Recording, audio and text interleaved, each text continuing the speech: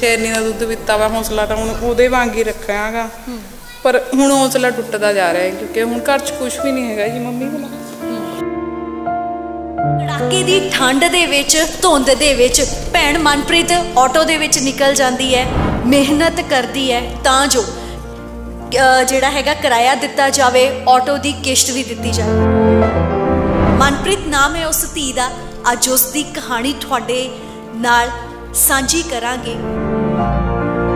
ਮੇਰੇ ਮੰਮਾ ਦੀ ਪਿਛਲੇ ਸਾਲ ਦੋ- ਇਸੀ ਸਾਲ ਹੋਈ ਹੈ ਡੈਥ 2 ਜਨਵਰੀ ਨੂੰ 2023 ਚ ਜੀ। ਤੇ ਹੁਣ ਅਗਲੇ ਰਹਿ ਗਏ 15 ਕੁ ਦਿਨ ਜੀ ਸਾਲ ਹੋ ਜਾਣਾ ਜੀ ਮੰਮੀ ਦੇ ਛੱਡ ਕੇ ਗਿਆ। ਨੂੰ ਆਪਣੀ ਮਾਂ ਦੇ ਵੱਲੋਂ ਜਿਹੜੀ ਸਿੱਖਿਆ ਦਿੱਤੀ ਗਈ ਸੀ ਕਿ ਪੁੱਤ ਕਦੀ ਕਿਸੇ ਦੇ ਅੱਗੇ ਹੱਥ ਨਹੀਂ ਅੱਡਣੇ ਮਿਹਨਤ ਕਰਨੀ ਜੀ ਤੋੜ ਕੇ ਮਿਹਨਤ ਕਰਨੀ ਮੈਂ ਹਮੇਸ਼ਾ ਤੇਰੇ ਨਾਲ ਰਹਾਂਗੀ ਚਾਹੇ ਮੈਂ ਇਸ ਦੁਨੀਆ ਤੇ ਹੋਵਾਂ ਜਾਂ ਨਾ ਤੁਹਾਡੇ ਆਟੋ ਦੇ ਵਿੱਚ ਕੋਈ ਬਜ਼ੁਰਗ ਬੈਠ ਜਾਂਦਾ ਤਾਂ ਤੁਸੀਂ ਉਸ ਦੇ ਕੋਲੋਂ ਪੈਸੇ ਤੱਕ ਨਹੀਂ ਲੈਂਦੇ। ਕਿ ਤੁਹਾਨੂੰ ਉਹਨਾਂ ਬਜ਼ੁਰਗਾਂ ਦੇ ਵਿੱਚੋਂ ਆਪਣੀ ਮਾਂ ਦਾ ਚਿਹਰਾ ਨਜ਼ਰ ਆਉਂਦਾ ਹਾਂਜੀ, ਹਾਂ, ਕਿਉਂਕਿ ਮੈਨੂੰ ਇਹ ਹੁੰਦਾ, ਪਤਾ ਨਹੀਂ ਕਿਹਦੇ ਰੂਪ ਚ ਆ ਕੇ ਮੇਰੀ ਮੰਮੀ ਨੇ ਪੈ ਜਾਣਾ ਹੈ। ਦੇਖੋ, ਸੰਸਕਾਰ ਜਦੋਂ ਕਰਦੇ, ਹਨਾ, ਕਹਿ ਨਹੀਂ ਦਿੰਦੇ ਵੀ ਮੁੰਡਾ ਕਰਦਾ, ਹਨਾ। ਮੇਰੀ ਮਾਂ ਨੇ ਮੈਨੂੰ ਮੁੰਡਿਆਂ ਵਾਂਗ ਹੀ ਰੱਖਿਆ, ਜੇ ਮੇਰੇ ਬ੍ਰਦਰ ਹੁੰਦੇ, ਉਹ ਕਰਦੇ। ਹੁਣ ਸਾਰਾ ਕੁਝ ਮੇਰੀ ਮੰਮੀ ਦਾ, ਜਦੋਂ ਮੈਂ ਦਵਾਈਆਂ, ਬੂਟੀਆਂ, ਉਹਨਾਂ ਨੂੰ, ਉਹਨਾਂ ਨਾਲ ਆਉਣ ਤੱਕ ਤਾਂ ਮੈਂ ਉਹ ਕੀਤਾ, ਤਾਂ ਫਿਰ ਸੰਸਕਾਰ ਵੀ ਮੈਂ ਹੀ ਕਰਨਾ ਸੀਗਾ ਜੀ। ਹੁਣ ਤਾਂ ਦੀਦੀ ਗਾਣੇ ਸਾਹ ਆਵੇ ਨਾ ਆਵੇ ਹੁਣ ਉਹ ਗੱਲ ਹੈ ਵੀ ਐਂ ਹੁੰਦਾ ਵੀ ਰੱਬਾ ਕੁਛ ਨਹੀਂ ਰੱਖਿਆ ਹੁਣ ਤੂੰ ਮੈਨੂੰ ਵੀ ਇੱਥੋਂ ਉਹ ਕਰ ਲੈ ਜਿੱਥੇ ਤੂੰ ਮੇਰੀ ਮਾਂ ਨੂੰ ਲੈ ਗਿਆ ਮੈਨੂੰ ਵੀ ਲੈ ਜਾ ਜੀਣ ਨੂੰ ਜੀ ਨਹੀਂ ਕਰਦਾ ਦੀਦੀ।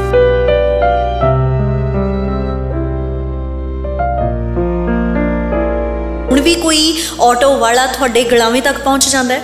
ਹਾਂ ਦੀਦੀ ਕਈ ਵਾਰ ਹੋ ਜਾਂਦਾ ਹੈਗਾ ਇੱਕ ਨੇ ਗਾਲ ਵੀ ਕੱਢੀ ਸੀਗੀ ਪਰ ਉਹਨੇ ਬਾਅਦ ਚ ਉਹਨੂੰ ਲਾਂਡਰ ਵਾਲੇ ਮੁੰਡੇ ਨੇ ਕਿਹਾ ਵੀ ਨਹੀਂ ਵੀ ਤੂੰ ਉਹਨੂੰ ਵੀ ਉਹ ਕੁੜੀ ਉਹਦਾ ਪਹਿਲੇ ਦੁਖੀ ਹੈ ਵੀ ਤੂੰ ਉਹਨੂੰ ਕਿਵੇਂ ਗਾਲ ਕੱਢੀ।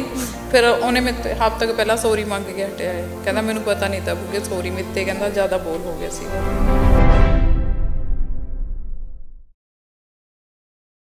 ਮਾਈ ਨੀ ਕਿਹੜਾ ਭੁੱਲੀਆਂ ਜੋ ਤੈਨੂੰ ਯਾਦ ਕਰਾਂ। ਅਗਲੇ ਜਨਮ ਵੀ ਤੇਰੀ ਧੀ ਹੋਵਾਂ, ਬਸ ਇਹੀਓ ਅਰਦਾਸ ਕਰਾਂ। ਇਹ ਭਾਵਨਾ ਉਸ ਧੀ ਦੀ ਹੈ। ਜਿਸ ਧੀ ਦੀ ਮਾਂ ਇਸ ਦੁਨੀਆ ਦੇ ਵਿੱਚ ਨਹੀਂ ਰਹੀ। ਆਖਰੀ ਸਮੇਂ ਦੇ ਵਿੱਚ ਬਸ ਮਾਂ ਦੇ ਨਾਲ ਰੋਟੀ ਖਾਧੀ ਤੇ ਢੇਰ ਸਾਰੀਆਂ ਗੱਲਾਂ ਕੀਤੀਆਂ। ਤੇ ਅੱਜ ਉਹ ਧੀ ਆਪਣੀ ਮਾਂ ਨੂੰ ਹਰ ਸਾਹ ਦੇ ਨਾਲ ਯਾਦ ਕਰਦੀ ਹੈ। ਪਰ ਅਸੀਂ ਉਸ ਧੀ ਦੇ ਹੌਸਲੇ ਨੂੰ ਸਲਾਮ ਕਰਦੇ ਹਾਂ, ਕਿਉਂਕਿ ਆਖਰੀ ਵਾਰ ਮਾਂ ਆਪਣੀ ਧੀ ਨੂੰ ਕਹਿ ਗਈ ਸੀ, ਪੁੱਤ, ਕਿਸੇ ਦੇ ਅੱਗੇ ਹੱਥ ਨਹੀਂ ਅੱਡਣੇ। ਆਪਣੀ ਹਿੰਮਤ ਦੇ ਨਾਲ ਮਿਹਨਤ ਕਰਨੀ ਮੈਂ ਹਮੇਸ਼ਾ ਤੇਰੇ ਨਾਲ ਰਹਾਂਗੀ। ਤੇ ਅੱਜ ਉਹ ਧੀ ਮੁੰਡਿਆਂ ਵਾਂਗ ਜਿਉਂਦੀ ਹੈ ਹੌਸਲਾ ਇੰਨਾ ਹੈ ਉਸ ਦੇ ਜਜ਼ਬੇ ਨੂੰ ਸਲਾਮ। ਮਨਪ੍ਰੀਤ ਨਾਮ ਹੈ ਉਸ ਧੀ ਦਾ। ਅੱਜ ਉਸ ਦੀ ਕਹਾਣੀ ਤੁਹਾਡੇ ਨਾਲ ਸਾਂਝੀ ਕਰਾਂਗੇ ਕਿ ਕਿਵੇਂ ਉਸਨੇ ਕਠਿਨਾਈਆਂ ਦੇ ਵਿੱਚੋਂ ਨਿਕਲ ਕੇ ਆਪਣੇ ਅੰਦਰ ਇੰਨੀ ਹਿੰਮਤ ਭਰੀ ਕਿ ਅੱਜ ਉਸ ਨੂੰ ਹਰ ਕੋਈ ਸਲਾਮ ਕਰ ਰਿਹਾ ਹੈ ਆਓ ਤੁਹਾਨੂੰ ਮਿਲਵਾਉਂਦੇ ਆ ਮਨਪ੍ਰੀਤ ਕੌਰ ਦੇ ਨਾਲ। ਸਤਿ ਸ਼੍ਰੀ ਅਕਾਲ ਭੈਣੇ। ਸਤਿ ਸ਼੍ਰੀ ਅਕਾਲ ਜੀ। ਕੀ ਹਾਲ ਚਾਲ ਠੀਕ ਹੋ? ਹਾਂਜੀ ਹਾਂਜੀ ਵਧੀਆ ਜੀ। ਮੈਨੂੰ ਯਾਦ ਹੈ ਜਦੋਂ ਆਪਣੀ ਗੱਲ ਹੋਈ ਸੀ ਤੁਸੀਂ ਕਿਹਾ ਸੀ ਬਹੁਤ ਜ਼ਿਆਦਾ ਬੁਖਾਰ ਤੁਹਾਨੂੰ ਸੀਗਾ। ਹੁਣ ਕਿਦਾਂ ਸਿਹਤਾਂ ਤੁਹਾਡੀਆਂ? ਹਾਂ ਬੁਖਾਰ ਤਾਂ ਚਲੋ ਹੁਣ ਵੀ ਹੈ ਹਨਾ ਪਰ ਕੰਮ ਕਰੇ ਬਿਨਾ ਸਰਦਾ ਵੀ ਨਹੀਂ ਹੈਗਾ ਜੀ। ਕੀ ਕਰੀਏ ਕੰਮ ਤਾਂ ਕਰਨਾ ਹੀ ਪੈਂਦਾ ਜੀ। ਤੇ ਇਹ ਤੁਹਾਡਾ ਆਟੋ ਹਾਂਜੀ ਹਾਂਜੀ। ਜਿਹੜਾ ਕਿ ਕਦੋਂ ਤੋਂ ਤੁਸੀਂ ਆਟੋ ਚਲਾਉਣਾ ਸ਼ੁਰੂ ਕੀਤਾ ਸੀ? ਮੈਮ ਆਟੋ ਤਾਂ ਜੀ ਮੈਂ 2014 ਤੋਂ ਚਲਾ ਰਿਹਾ। ਪਹਿਲਾਂ ਮਾਰਕੀਟ ਤੇ ਸੀਗਾ 2019 ਚ ਮੈਂ ਲੈ ਲਿਆ ਸੀਗਾ ਬਜਾਜ ਦਾ ਆਟੋ। ਤੇ ਉਹ ਹੁਣ ਪਿਛਲੇ ਸਾਲ 2022 ਚ ਖਰਾਬ ਹੋ ਗਿਆ ਸੀਗਾ ਜੀ। ਤੇ ਮੈਂ ਏਜੰਸੀ ਨੂੰ ਵਾਪਸ ਕਰਕੇ ਜੀ ਫਿਰ ਆ ਫਿਰ ਕਢਵਾਇਆ ਜੀ ਕਿਸ਼ਤਾਂ ਤੇ ਉਹ ਵੀ ਕਿਸ਼ਤਾਂ ਤੇ ਸੀਗਾ ਜੀ। ਤੇ ਮੈਂ ਸੁਣਿਆ ਤੁਹਾਡੇ ਮਾਤਾ ਜੀ ਜਿਹੜੇ ਕਿ ਹੁਣ ਤੁਹਾਡੇ ਨਾਲ ਨਹੀਂ, ਉਹਨਾਂ ਨੇ ਤੁਹਾਡੇ ਅੰਦਰ ਬਹੁਤ ਹਿੰਮਤ ਭਰੀ, ਜੋਸ਼ ਭਰਿਆ ਕਿ ਪੁੱਤ ਕਦੇ ਵੀ ਚਾਹੇ ਮੈਂ ਹੋਵਾਂ, ਚਾਹੇ ਨਾ ਹੋਵਾਂ, ਕਿਸੇ ਅੱਗੇ ਹੱਥ ਨਹੀਂ ਅੱਡਣੇ। ਹਾਂਜੀ, ਹਾਂ, ਇਹ ਮੰਮਾ ਨੇ ਮੇਰੇ ਨਾਲ ਸ਼ੁਰੂ ਤੋਂ ਹੀ ਕਿਹਾ ਸੀਗਾ ਜੀ ਵੀ ਕਿਸੇ ਮੂਰੇ ਹੱਥ ਨਹੀਂ ਅੱਡਣੇ, ਆਪਣਾ ਕਮਾ ਕੇ ਖਾਣਾਗਾ ਨਾ ਕਿਸ ਤੇ ਜਾ ਕੇ ਬੋਝ ਬਣਨਾ। ਮੇਰੇ ਮੰਮਾ ਦੀ ਪਿਛਲੇ ਸਾਲ ਦੋ- ਸਾਲ ਹੋਈ ਹੈ ਡੈਥ 2 ਜਨਵਰੀ ਨੂੰ 2023 ਚ ਜੀ। ਤੇ ਹੁਣ ਅਗਲੇ ਰਹਿ ਗਏ 15 ਕੁ ਦਿਨ ਜੀ ਸਾਲ ਹੋ ਜਾਣਾ ਜੀ ਮੰਮੀ ਛੱਡ ਕੇ ਗਿਆ ਨੂੰ ਜੀ। ਤੇ ਤੁਹਾਡੇ ਦੋ ਭਰਾ ਵੀ ਸੀਗੇ ਜਿਹੜੇ ਕਿ ਇਸ ਦੁਨੀਆ ਤੇ ਨਹੀਂ ਰਹੇ? ਹਾਂਜੀ ਮੈਮ ਉਹਦੇ ਵੀ ਸਾਡੇ ਲਈ ਨਾ ਗਾਣੇ ਦੋ ਤਰੀਕੇ ਹੈ ਹੀ ਮਾੜੀ ਹੈ। ਮੇਰੇ ਜਿਹੜਾ 2010 ਚ ਭਰਾ ਦੀ ਡੈਥ ਹੋਈ ਸੀਗੀ ਉਹ 2 ਦਸੰਬਰ ਨੂੰ ਹੋਈ ਸੀਗੀ। ਜੇ ਇੱਕ ਭਰਾ ਦੀ 2018 ਨੂੰ 2 ਅਪ੍ਰੈਲ ਨੂੰ ਡੈਥ ਹੋਈ ਸੀਗੀ। ਮੰਮੀ ਦੀ 2 ਜਨਵਰੀ 2023 ਨੂੰ ਡੈਥ ਹੋਈ। ਦੋ ਤਰੀਕ ਸਾਡੇ ਲਈ ਗਾਣੇ ਕਾਲ ਬਣ ਕੇ ਆਉਂਦੀ ਹੈ ਜੀ। ਹੋਇਆ ਕੀ ਸੀਗਾ ਤੁਹਾਡੇ ਭਰਾਵਾਂ ਨੂੰ? ਭਰਾ ਤਾਂ ਜੀ ਇੱਥੇ ਖਾਨਪੁਰ ਕੋਲ ਨਾ ਰੁੜਕੀ ਵਿਲੇਜ ਹੈ, ਉੱਥੇ ਵਿਆਹਿਆ ਹੋਇਆ ਸੀਗਾ ਜੀ। ਤੇ ਉਸ ਤੋਂ ਬਾਅਦ ਜੀ 6 ਮਹੀਨੇ ਹੋਏ ਸੀਗੇ, ਉਹ ਸੈਕੰਡ ਮਾਜਰੇ ਦੀ ਗੱਡੀ ਚਲਾਏ ਕਰਦਾ ਸੀਗਾ ਜੀ। ਉਹਨਾਂ ਨੇ ਉਹਦੀ ਵਾਈਫ ਨੂੰ ਕੁਝ ਕਹਿਤਾ ਸੀਗਾ ਤੇ ਉਹ ਉਹਨੂੰ ਉਹਦੇ ਪੇਕੇ ਘਰ ਛੱਡ ਕੇ ਆ ਕੇ ਸੁਸਾਈਡ ਕਰ ਲਿਆ ਸੀਗਾ। ਅਸੀਂ ਸੁਹਾਣੇ ਰਹਿੰਦੇ ਸੀਗੇ ਜੀ ਉਸ ਟਾਈਮ ਤੇ ਜਦੋਂ ਉਹਨਾਂ ਨੇ ਸੁਸਾਈਡ ਕੀਤਾ, ਕੋਈ ਸੁਸਾਈਡ ਨੋਟ ਮਿਲਿਆ ਹੋਵੇ ਕੋਈ ਉਹਦੇ ਵਿੱਚ ਕਾਰਨ ਲਿਖਿਆ ਹੋਵੇ, ਕਿਸ ਬੰਦੇ ਕਰਕੇ ਮੈਂ ਕਰ ਰਿਹਾ ਜਾਂ ਕਿੱਦਾਂ? ਹਾਂਜੀ ਉਹ ਉਹਨਾਂ ਦੇ ਕਿਉਂਕਿ ਉਹ ਗੱਡੀ ਤੋਂ ਆਇਆ ਸੀਗਾ ਉਹਨੇ ਦੱਸਿਆ ਸੀਗਾ ਮੰਮੀ ਨੂੰ ਕਹਿੰਦਾ ਉਹ ਐਵੇਂ ਬੋਲੇ ਆ ਫਿਰ ਉਹਨਾਂ ਦੇ ਕੇਸ ਵੀ ਚੱਲੇ ਸੀਗੇ ਜੀ। ਤੁਹਾਨੂੰ ਪਤਾ ਹੀ ਮਾੜੇ ਦਾ ਕੌਣ ਹੈ ਜੀ।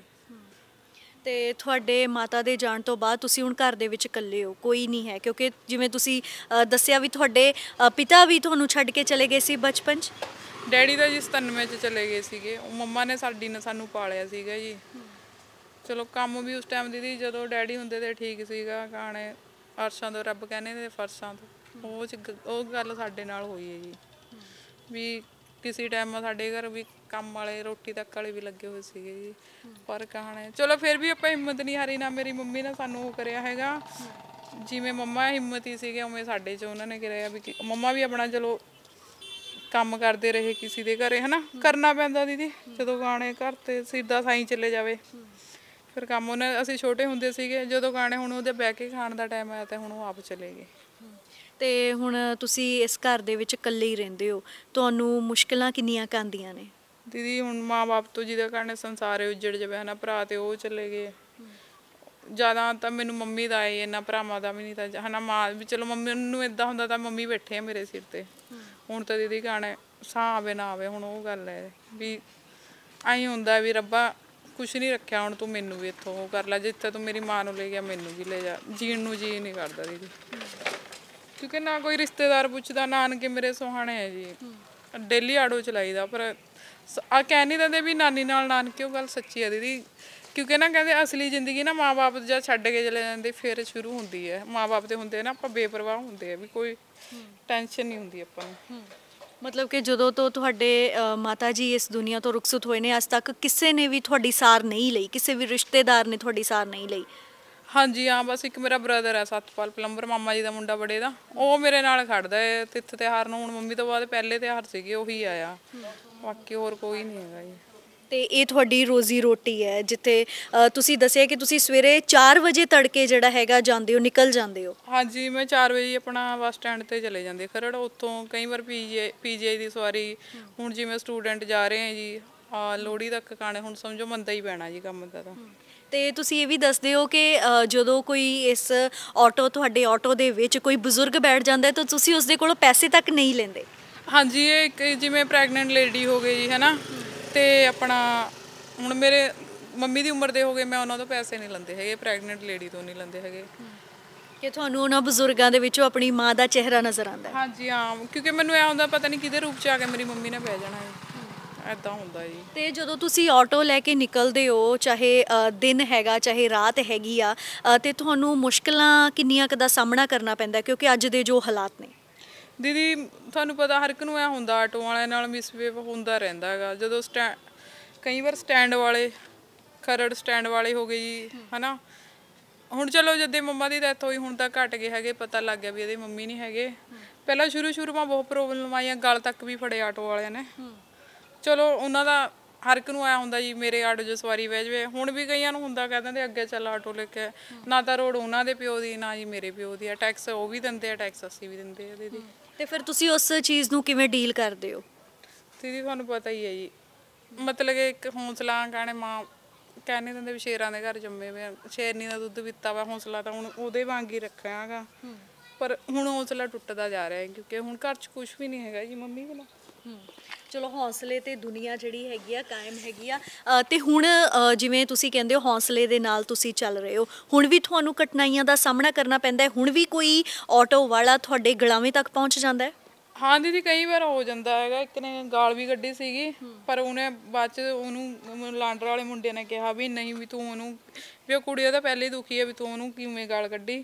ਫਿਰ ਉਹਨੇ ਮੇਰੇ ਹਫ਼ਤੇ ਤੱਕ ਪਹਿਲਾਂ ਸੌਰੀ ਮੰਗ ਕੇ ਹਟਿਆ ਹੈ ਕਹਿੰਦਾ ਮੈਨੂੰ ਪਤਾ ਨਹੀਂ ਤਾਂ ਬੁੱਗੇ ਸੌਰੀ ਮਿੱਤੇ ਕਹਿੰਦਾ ਜ਼ਿਆਦਾ ਬੋਲ ਹੋ ਗਿਆ ਸੀਗਾ। ਤੇ ਹੁਣ ਸਾਰੇ ਉਹ ਸਾਥ ਦਿੰਦੇ ਨੇ ਤੁਹਾਡਾ?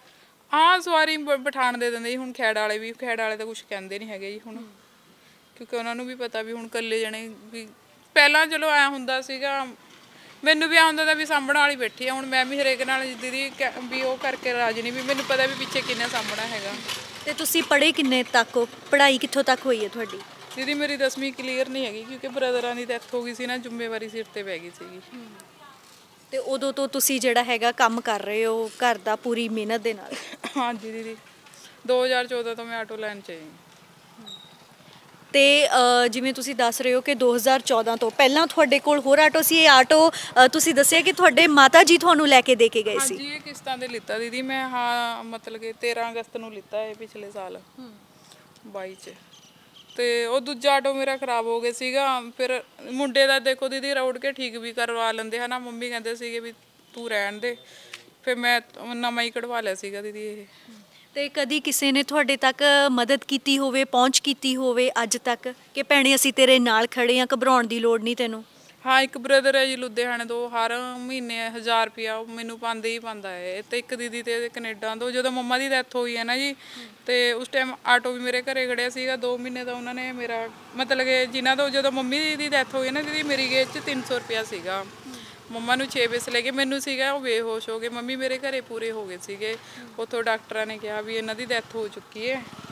ਵੀ ਤੁਸੀਂ ਫਿਰ, ਚਲੋ, ਡਾਕਟਰ ਵੀ ਵਧੀਆ ਸੀਗੇ। ਉਹਨਾਂ ਨੇ ਦੇਖਿਆ ਵੀ ਇਹ ਕੁੜੀ ਹੈ, ਦੋਨੋਂ ਕੁੜੀਆਂ ਨਾਲ। ਹਨਾ, ਇੱਕ ਬ੍ਰਦਰ ਸੀਗਾ, ਮਨਦੀਪ ਗਵੰਡੀਆ ਦਾ ਮੁੰਡਾ, ਉਹਨੂੰ ਲੈ ਕੇ ਗਏ। ਫਿਰ ਉਹ ਵੀਰੇ ਨੂੰ ਪੁੱਛ ਰਹੇ ਵੀ ਇਹਨਾਂ ਨਾਲ ਕੋਈ ਸਿਆਣਾ ਬੰਦਾ ਨਹੀਂ ਹੈਗਾ। ਉਹ ਕਹਿੰਦੇ ਵੀ ਇਹਨਾਂ ਦੇ ਘਰ 'ਚ ਕੋਈ ਨਹੀਂ, ਵੀ ਇਹੀ ਸੀਗੇ। ਸਿਆਣੇ ਵੀ ਇਹੀ ਉਹ ਹੋ ਗਏ। ਤੇ ਫਿਰ ਜਦੋਂ ਇੱਕ 100 ਰੁਪਏ ਦੀ ਸਿਰਫ ਮੇਰੀ ਮੰਮੀ ਦੀ ਪਰਚੀ, ਉਹ ਮੋਰਚਰੀ ਵਾਲੀ ਬਣੀ ਆ ਦੀਦੀ। ਉਹ ਕਹਿੰਦੇ ਸੀ ਵੀ ਤੁਸੀਂ ਇੱਥੇ ਛੱਡ ਜਾਓ, ਸਵੇਰੇ ਲੈ ਜਿਓ। ਵੀ ਤੁਹਾਡੇ ਸਾਂਭਣ ਵਾਲਾ ਵੀ ਨਹੀਂ ਕੋਈ। ਨਾਨਕਿਆਂ ਨੂੰ ਮੈਂ ਫੋਨ ਉੱਥੋਂ ਵੀ ਕਰਦੇ ਸੀਗੇ, ਤਾਂ ਵੀ ਮੇਰੇ ਕੋਲ ਰਾਤ ਨੂੰ 11:30 ਵਜੇ ਮੇਰੀ ਮੰਮੀ ਆ ਪਹੁੰਚ ਰਹੀ ਉਹ ਵੀ ਫੋਨ ਕਰਕੇ ਕਹਿ ਰਹੀ ਅਸੀਂ ਆਈਏ। ਤੇ ਜਦੋਂ ਸੰਸਕਾਰ ਦਾ ਵੇਲਾ ਆਇਆ ਸੀਗਾ, ਤੁਸੀਂ ਦੱਸਿਆ ਕਿ ਸਾਰੇ ਅੱਗੇ ਹੋ ਗਏ ਸੀਗੇ, ਪਰ ਤੁਸੀਂ ਸਾਰਿਆਂ ਨੂੰ ਹੀ ਕਹਿ ਦਿੱਤਾ ਕਿ ਤੁਸੀਂ ਜਿਉਂਦੇ ਜੀ ਤਾਂ ਪੁੱਛਿਆ ਨਹੀਂ ਹੈਗਾ, ਤੇ ਹੁਣ ਵੀ ਮੇਰੇ ਮਾਂ ਦੇ ਲਾਗੇ ਲੱਗਣ ਦੀ ਲੋੜ ਨਹੀਂ। ਹਾਂਜੀ ਮੈਂ ਕਿਹਾ ਸੀਗਾ ਇਹ ਦੇਖੋ ਸੰਸਕਾਰ ਜਦੋਂ ਕਰਦੇ ਹਨਾ ਕਹਿ ਨਹੀਂ ਦਿੰਦੇ ਵੀ ਮੁੰਡਾ ਕਰਦਾ ਹਨਾ। ਮੇਰੀ ਮਾਂ ਨੇ ਮੈਨੂੰ ਮੁੰਡਿਆਂ ਵਾਂਗ ਹੀ ਰੱਖਿਆ ਜੇ ਮੇਰੇ ਬ੍ਰਦਰ ਹੁੰਦੇ ਉਹ ਕਰਦੇ। ਹੁਣ ਸਾਰਾ ਕੁਝ ਮੇਰੀ ਮੰਮੀ ਦਾ ਜਦੋਂ ਮੈਂ ਦਵਾਈਆਂ ਬੂਟੀਆਂ ਉਹਨਾਂ ਨੂੰ ਉਹਨਾਂ ਨਾਲ ਆਉਣ ਤੱਕ ਤਾਂ ਮੈਂ ਉਹ ਕੀਤਾ ਤਾਂ ਮੈਂ ਸੰਸਕਾਰ ਵੀ ਮੈਂ ਹੀ ਕਰਨਾ ਸੀਗਾ ਜੀ। ਤੇ ਤੁਹਾਡੀ ਜ਼ਮੀਨ ਜਾਇਦਾਦ ਪਿੱਛੇ ਕੋਈ ਘਰ ਤੁਹਾਡੇ ਨਾਮ ਕੁਝ ਹੋਵੇ? ਮੇਰੇ ਨਾਲ ਕੁਝ ਨਹੀਂ ਹੈਗਾ ਜਿਹੜੀ ਮੇਰੀ ਕਹਾਣੇ ਦਾਦੇ ਲਾਈ ਕਹਿ ਦਿੰਦੇ ਆ ਜੀ ਮਾੜਾ ਮੋਟਾ ਘਰ ਹੈ ਜਿਹੜਾ ਉਹ ਤਾਏ ਦਾ ਮੁੰਡਾ ਜੀ ਰਾਮਪੁਰ ਵਰਖਾਲੀ ਪਿੰਡ ਹੈ ਜੀ ਮੇਰਾ। ਉਹ ਦੇ ਕੇ ਰਾਜੀ ਨਹੀਂ ਹੈਗੇ ਜੀ ਮੈਨੂੰ। ਤੇ ਤੁਸੀਂ ਇੱਥੇ ਕਿਰਾਏ ਤੇ ਰਹਿੰਦੇ ਹੋ? ਹਾਂਜੀ ਹਾਂਜੀ, ਇੱਥੇ ਮੈਂ ਕਿਰਾਏ ਤੇ ਰਹਿ ਰਹੇ। ਓਨਰ ਮੇਰੇ ਬਹੁਤ ਵਧੀਆ ਜੀ, ਚੰਗੇ ਆ। ਵਿਚਾਰੇ ਕੋਠੀ ਵੀ ਨਹੀਂ ਸੀ ਕਰਕੇ ਉਹ ਕਰ ਰਹੇ ਹੈਗੇ। ਕਹਿੰਦੇ, ਬੱਚੇ, ਤੂੰ ਆਪਣਾ ਬਣਾ ਲੈ ਕਿਤੇ। ਦੀਦੀ, ਆਪਣਾ ਕਿੱਥੋਂ ਬਣਨਾ ਤੁਹਾਨੂੰ ਪਤਾ ਹੈ ਜੀ। ਇੰਨੀ ਮਹਿੰਗਾਈ ਹੈ। ਘਰ ਦਾ ਖਰਚਾ ਹੀ ਸਰਕਲ ਚੱਲੀ ਜਾਵੇ ਨੇ, ਉਹੀ ਬਹੁਤ ਹੈਗਾ। ਹੁਣ ਰੈਂਟ ਆ ਗਿਆ, ਇਹਦੀ ਕਿਸ਼ਤ ਆ ਗਈ। ਮੈਨੂੰ ਤਾਂ ਐਂ ਟੈਨਸ਼ਨ ਰਹਿੰਦੀ ਹੈ ਪਤਾ ਨਹੀਂ ਅੱਗੇ ਅੱਗੇ ਕੀ ਹੋਣਾ ਕਿਉਂਕਿ ਇੱਕ ਦਿਨ ਘਟੇ ਰਿਹਾ 34 ਸਾਲ ਮੇਰੀ ਉਮਰ ਹੋ ਗਈ ਦੀਦੀ। 89 ਦਾ ਡੇਟ ਹੈ ਇਹੀ ਤੁਹਾਡੀ ਰੋਜੀ ਰੋਟੀ ਆ ਇਹਦੇ ਸਾਰੇ ਤੁਸੀਂ ਕਿਰਾਇਆ ਭਰਨਾ ਹੈਗਾ ਕਿਸ਼ਤ ਦੇਣੀ ਹੈਗੀ ਆ। ਕਿਵੇਂ ਸਾਰਾ ਇਹ ਤੁਸੀਂ ਮੈਨੇਜ ਕਰਦੇ ਹੋ? ਕਿਉਂਕਿ ਹੁੰਦਾ ਆ ਕੁੜੀਆਂ ਨੂੰ ਬਹੁਤ ਸਾਰੇ ਉਹਨਾਂ ਦੇ ਸੁਪਨੇ ਵੀ ਹੁੰਦੇ ਨੇ। ਤੁਹਾਡਾ ਕੀ ਸੁਪਨਾ ਸੀਗਾ ਵੈਸੇ ਜੇ ਦੇਖਿਆ ਜਾਵੇ ਜੋ ਤੁਸੀਂ ਸਕੂਲ ਦੇ ਵਿੱਚ ਪੜ੍ਹਦੇ ਸੀ ਕਿ ਮੈਂ ਵੱਡੀ ਹੋ ਕੇ ਇਹ ਕਰਾਂਗੀ ਆਪਣੀ ਮਾਂ ਨੂੰ ਜਿਹੜੇ ਆ ਇਸ ਮੁਕਾਮ ਤੱਕ ਲੈ ਕੇ ਜਾਵਾਂਗੀ? ਜਦੋਂ ਮੇਰੇ ਨਾ ਤਾਏ ਜੀ ਸੀਆਰਪੀ ਚ ਸੀਗੇ ਜੀ, ਪੁਲਿਸ ਅਫਸਰ ਸੀਗੇ, ਮੇਰੀ ਮੰਮੀ ਦਾ ਡ੍ਰੀਮ ਸੀਗਾ ਵੀ ਮੈਂ ਆਪਣੀ ਕੁੜੀ ਨੂੰ ਵੀ ਪੁਲਿਸ ਚ ਲੈਣ ਚ ਲੈ ਕੇ ਜਾਣਾ। ਪਰ ਦੀਦੀ ਕੁਛ ਹਾਈਟ ਲਾ ਲਓ, ਕੁਛ ਮੇਰੀ ਪੜ੍ਹਾਈ ਛੁੱਟ ਗਈ, ਹਨਾ? ਮੇਰੀ ਮੰਮੀ ਦਾ ਸੁਪਨਾ ਸੀਗਾ ਵੀ ਮੈਂ ਆਪਣੀ ਉਹਨੂੰ ਕਰਨਾ, ਕਿਉਂਕਿ ਮੈਂ, ਮੇਰੇ ਤੋਂ ਪਹਿਲਾਂ ਮੇਰੇ ਬ੍ਰਦਰ ਹੁੰਦੇ ਸੀਗੇ ਡੈਥ ਹੋ ਜਾਂਦੀ ਸੀਗੀ। ਮੈਂ ਸੁੱਖਾ ਸੁੱਖ ਕੇ ਗੁਰਦੁਆਰਾ ਬਿੰਦਰਕ ਸਾਹਿਬ ਤੋਂ ਮੇਰੀ ਮੰਮੀ ਨੇ ਮੈਨੂੰ ਲਿਆ ਮੰਗ ਲਿਆ ਸੀਗਾ ਜੀ। ਅੱਛਾ ਤੁਸੀਂ ਸੁੱਖਾਂ ਸੁੱਖ ਕੇ ਜਿਹੜਾ ਹੈਗਾ ਤੁਹਾਡੇ ਮਾਤਾ ਜੀ ਨੇ ਸੁੱਖਾਂ ਸੁੱਕੀਆਂ ਸੀਗਾ ਕਿ ਰੱਬਾ ਮੈਨੂੰ ਧੀ ਦੇ ਦੇ? ਹਾਂਜੀ ਹਾਂ ਪਹਿਲਾਂ 10 ਬੇਬੀ ਮੇਰੀ ਮੰਮੀ ਦੇ ਖ- ਵੀ ਉਹ ਖਰਾਬ ਹੋ ਗਏ ਸੀਗੇ ਜੀ। ਅੱਛਾ ਜੀ। ਹਾਂਜੀ ਫਿਰ ਅਸੀਂ ਤਿੰਨ ਹੋਏ ਸੀਗੇ ਗਾਣੇ ਰੱਬ ਨੇ ਉਹ ਵੀ ਦੋ ਜਿਹੜੇ ਬ੍ਰਦਰ ਦਿੱਤੇ ਤੇ ਉਹ ਵੀ ਖੋਲੇ ਗਾਣੇ ਠੋਕਰਾਂ ਖਾਣ ਨੂੰ ਮੈਨੂੰ ਇੱਥੇ ਛੱਡਤੇ ਮੈਂ ਤਾਂ ਰੱਬ ਨੂੰ ਉਹੀ ਕਹਿੰਦੇ ਮੈਨੂੰ ਵੀ ਲੈ ਜਾ। ਘਰ ਦੇ ਵਿੱਚ ਤੁਹਾਡੇ ਭਰਾ ਜਿਹੜੇ ਸੀਗੇ ਦੋਨੋਂ ਤੁਹਾਡੇ ਤੋਂ ਛੋਟੇ ਸੀਗੇ ਕਿ ਵੱਡੇ ਸੀਗੇ? ਨਹੀਂ ਛੋਟੇ ਸੀਗੇ ਦੀਦੀ। ਅੱਛਾ ਵੱਡੇ ਤੁਸੀਂ ਹੋ ਘਰ ਦੇ ਵਿੱਚ? ਘਰ 'ਚ ਮੈਂ ਹੀ ਆ ਤਾਂ ਇਹ ਮਨਪ੍ਰੀਤ ਕੌਰ, ਇਹ ਤੁਸੀਂ ਇਹਨਾਂ ਦੇਖ ਸਕਦੇ ਹੋ, ਇਹ ਰੋਜੀ, ਇਹ ਰੋਟੀ ਜਿਹੜੀ ਦੇਖ ਸਕਦੇ ਹੋ, ਤੜਕੇ 4 ਵਜੇ। ਅੱਜ ਤੱਕ, ਅੱਜ ਦੀ ਜੇ ਗੱਲ ਕਰੀਏ ਤਾਂ ਬੱਚੇ ਅੱਜ ਜਿਹੜੇ ਕਮਰਿਆਂ ਦੇ ਵਿੱਚੋਂ ਬਾਹਰ ਨਹੀਂ ਨਿਕਲਦੇ, ਜੇ ਆਪਾਂ ਠੰਡ ਦੀ ਗੱਲ ਰਹੀਏ, ਪਰ ਕੜਾਕੇ ਦੀ ਠੰਡ ਦੇ ਵਿੱਚ, ਧੁੰਦ ਦੇ ਵਿੱਚ ਭੈਣ ਮਨਪ੍ਰੀਤ ਆਟੋ ਦੇ ਵਿੱਚ ਨਿਕਲ ਜਾਂਦੀ ਹੈ, ਮਿਹਨਤ ਕਰਦੀ ਹੈ, ਤਾਂ ਜੋ ਘਰ ਦੀ ਜਿਹੜਾ ਹੈਗਾ ਕਿਰਾਇਆ ਦਿੱਤਾ ਜਾਵੇ ਆਟੋ ਦੀ ਕਿਸ਼ਤ ਵੀ ਦਿੱਤੀ ਜਾਏ। ਇਹ ਰੋਜੀ ਰੋਟੀ ਹੈ, ਭੈਣ ਮਨਪ੍ਰੀਤ ਦੀ।